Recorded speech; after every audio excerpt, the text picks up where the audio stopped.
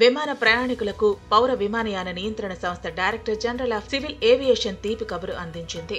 ప్రయాణికులకు మరింత బలం చేకూర్చుతూ సివిల్ ఏవియేషన్ రిక్వైర్మెంట్ నిబంధనల్లో భారీ మార్పులు చేసింది. దీనివల్ల ఇటు దేశీయ ప్రయాణికులతో పాటు అంతర్జాతీయ ప్రయాణికులకు సైతం ప్రయోజనం చేకూరనుంది. ఈ మేరకు సివిల్ ఏవియేషన్ రిక్వైర్మెంట్ సవరణలను బుధవారం విడుదల చేసింది డీజీసీఏ. ఇప్పటి నుంచి ప్రయాణాల్లో జాప్యం రద్దు విమాన ప్రయాణ క్లాస్ తగ్గించడం వంటి వాటితో ప్రభావితమైన ప్రయాణికులకు ఎయిర్లైన్ సంస్థలు రియంబర్స్మెంట్ కల్పించాలి. ఫిబ్రవరి పదిహేను నుంచి కొత్త నిబంధనలు అమల్లోకి రానున్నాయి. ప్రయాణికుల అనుమతి లేకుండానే విమానయాన సంస్థలు టికెట్ క్లాస్ డౌన్ గ్రేడ్ చేస్తుంటాయి.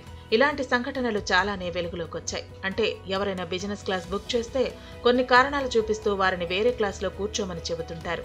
ఇలాంటి కేసులను అరికట్టేందుకు డీజీసీఏ చర్యలు చేపట్టింది. టికెట్ క్లాస్ డౌన్ గ్రేడ్ చేస్తే పనులతో సహా డెబ్బై ఏడు శాతం మొత్తాన్ని ప్రయాణికులకు విమానయాన సంస్థలు చెల్లించాల్సి ఉంటుంది. పౌర విమానయాన అవసరాలు నిబంధనలు సవరణల ప్రకారం ప్రయాణికుల టికెట్ క్లాస్ తగ్గించిన సమయంలో టికెట్ రేటులో డెబ్బై ఐదు శాతం పన్నులతో కలుపుకొని మొత్తం ప్యాసింజర్స్కి విమానయాన సంస్థలు చెల్లించాల్సి ఉంటుంది. ఈ నిబంధనలు దేశీయ ప్రయాణికులకు వర్తిస్తుంది. అలాగే అంతర్జాతీయ ప్రయాణికుల విషయానికి వస్తే విమానం ప్రయాణించే దూరాన్ని బట్టి వారికి అందించాల్సినవి రియంబర్స్మెంట్ నిబంధనల్లో మార్పు ఉంటుంది.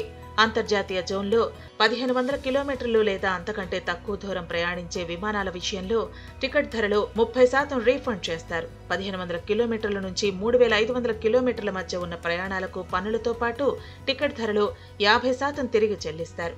అలాగే మూడు వేల ఐదు వందల కిలోమీటర్లు అంతకంటే ఎక్కువ దూరాలు ప్రయాణించే విమానాల విషయంలో పన్నులతో పాటు టికెట్ ధరలో డెబ్బై ఐదు శాతం ఎయిర్లైన్స్ వాపస్ చేయాల్సి ఉంటుంది.